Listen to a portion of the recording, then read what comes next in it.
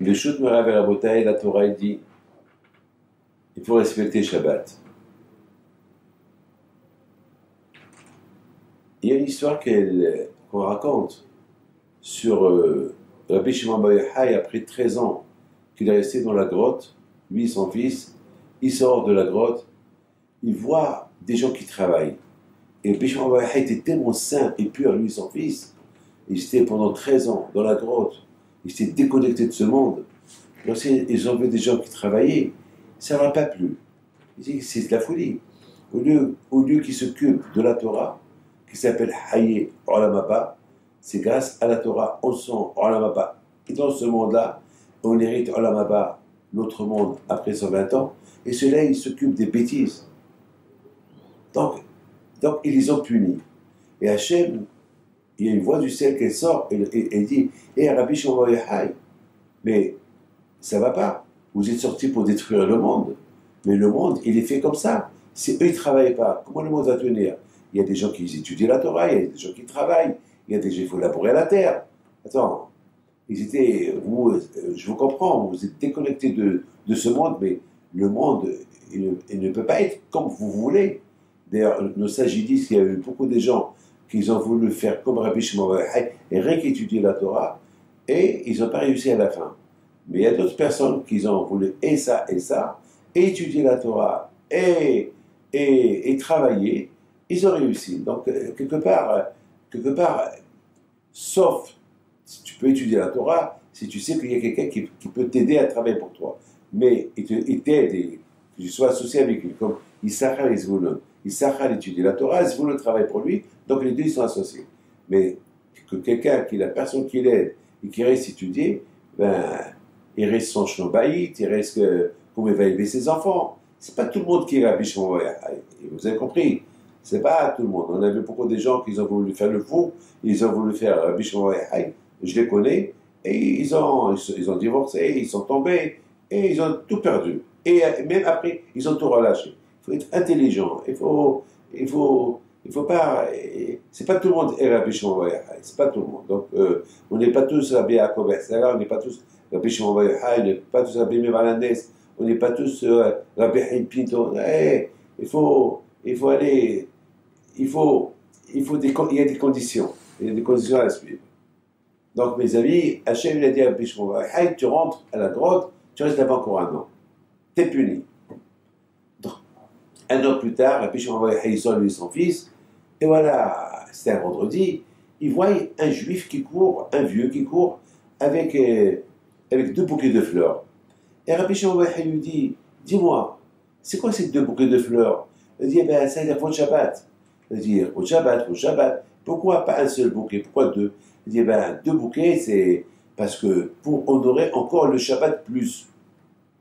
Un pour Zachor, un pour Shamor. Un, c'est pour se rappeler que c'est Shabbat, et un qui, nous dit il faut respecter Shabbat. Parce que vous savez très bien que il y a beaucoup de choses qu'on fait toute la semaine, on risque d'oublier Shabbat, on va les faire. Alors c'est pour ça que le Shabbat, on fait des signes pour se rappeler que c'est Shabbat, à cause des choses qu'on a l'habitude de faire dans la semaine, pour ne pas oublier Shabbat, que c'est Shabbat. Alors, alors on, fait des, il y a certaines choses qu'on marque des signes pour ne pas les faire le Shabbat, pour ne pas oublier que c'est Shabbat. Alors, Rabbi Shimon dit à son fils Azar, tu vois les juifs, comment ils sont extraordinaires. Hein Alors que eux, ils ne sont pas obligés du tout d'acheter des bouquets de fleurs pour Shabbat. Et, et, et malgré tout, euh, voilà, ils honorent Shabbat avec des bouquets de fleurs. Parce que la Torah n'a pas dit d'acheter des bouquets de fleurs à la maison. Ils veulent honorer, le Shabbat, regarde. Alors, Al-Bashar Steinman, il pose une belle question. Il dit, qu'est-ce qu'il y a de spécial dans ces bouquets de fleurs que que Rabbi Shimon il était il était émotionné, était étonné. Pourquoi il n'est pas étonné de voir un juif qui fait sa prière, met filine Pourquoi il n'est pas étonné de voir, euh, je ne sais pas moi, de voir quelqu'un qui fait, qui, fait, qui fait sa prière? Pourquoi ils étaient étonnés, ils étaient emballés lorsqu'ils ont vu un, un juif, un vieux qui court avec deux, deux bouquets de fleurs? Et, le Rabbi il donne une réponse à lui. Mais moi, j'ai pensé à une autre réponse. J'ai pensé que embellir les mitzvot, c'est élever un.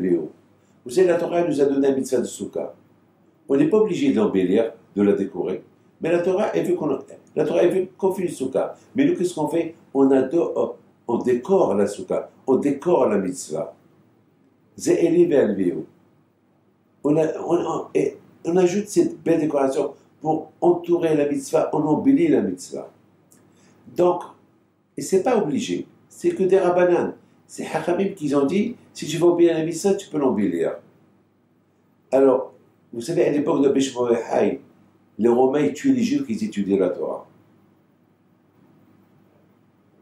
Et Rabbi Shimon ce qui l'a le plus émotionné, c'est que ce juif-là, non seulement qu'il respecte Shabbat, qui est une mitzvah de la Torah, mais il a embelli le Shabbat, qui est une mitzvah de Rabbanan. À l'époque, les Romains, ils tuaient Hachamim. Ils tuaient Hachamim qu'ils enseignaient la Torah au peuple juif et que leur, et que leur apprenaient comment décorer les mitzvot. et, et Rabbi Shimon il a vu. C'est pour ça que Rabbi Shimon était dans une grotte pendant, pendant 13 ans. C'est parce que les Romains, ils l'ont trouvé en train d'étudier la Torah. Il s'est sauvé d'eux. Et Rabbi il voit ce, ce vieux-là qui décore la mitzvah qui est d'Oraïta. La mitzvah de Torah, il la décore. Parce qu'il écoute ce que Haramim dit. Ça veut dire, le fait qu'il décore la mitzvah de la Torah, ça veut dire qu'il écoute les paroles de Haramim.